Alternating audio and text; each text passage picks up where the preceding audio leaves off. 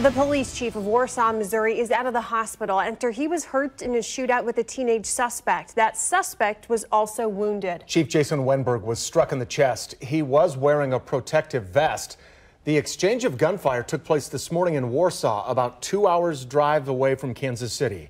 KCTV5's Nathan Vickers is live tonight in Warsaw, where people are still shaken by what happened. Nathan. Brad Ellen, that policeman is home safe after a shootout here this morning. This was the street where a policeman uh, confronted a 16-year-old who was a suspect uh, after a, a, stolen car incident and a chase last night. That happened uh, just on the other side of town here. The police officer saw him walking here this morning and approached him. That's when witnesses say the teen pulled out a gun and shot him. We spoke to Hunter Bagley, who works at this cabinet shop.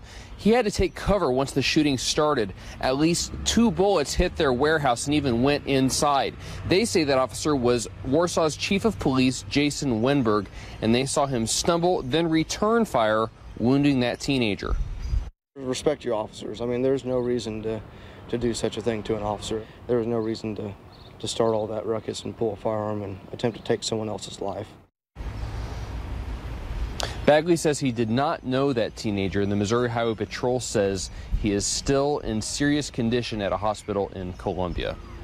Reporting live in Warsaw, Missouri, Nathan Vickers, KCTV 5 News.